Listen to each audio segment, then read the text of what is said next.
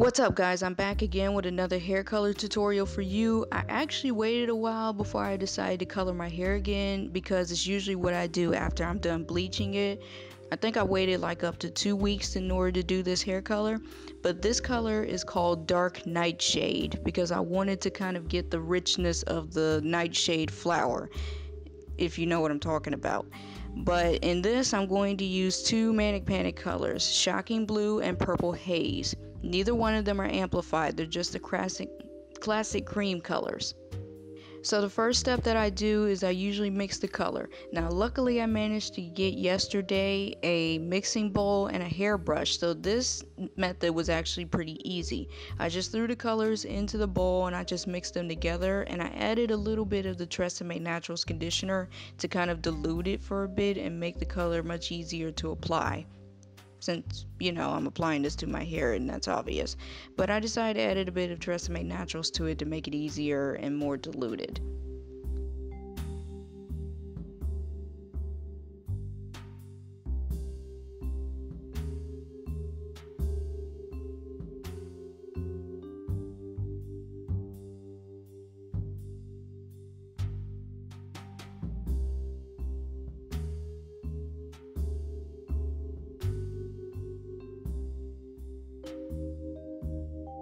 After I'm done mixing the color, I then like to wash my hair just to get it ready before I apply the color.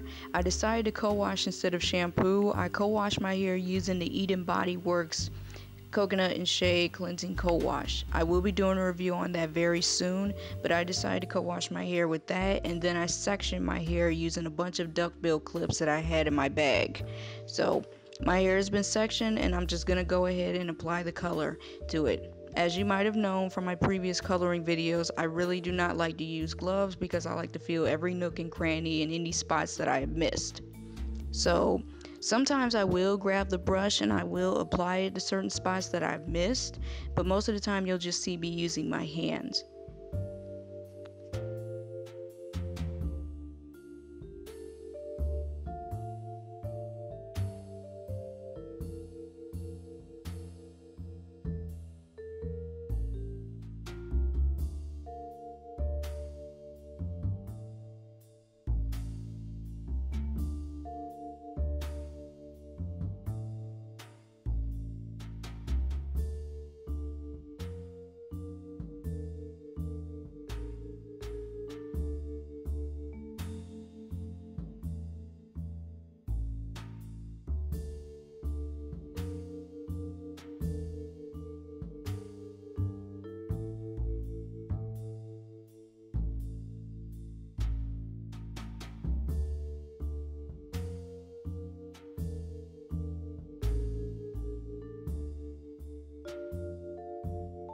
Sorry for that little cutback, guys. I had to go back and I had to make a new batch of hair color since my hair is very thick and I ran out of it while I was applying the color.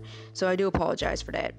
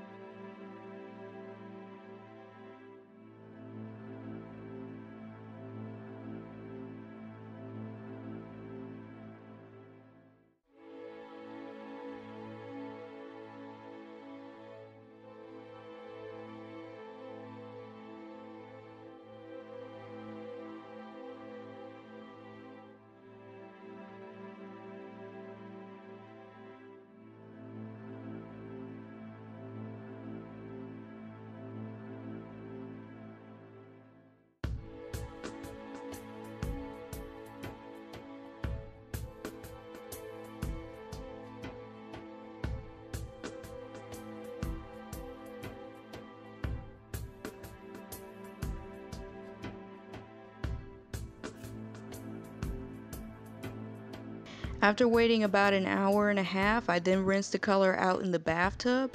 this color actually turned out pretty well. My hair took the took the two color blend very very well and I was very pleased with the result. So here are the results of it. I'm sorry if the selfies or self portraits do not look as good It's good, but here are the results of my hair color.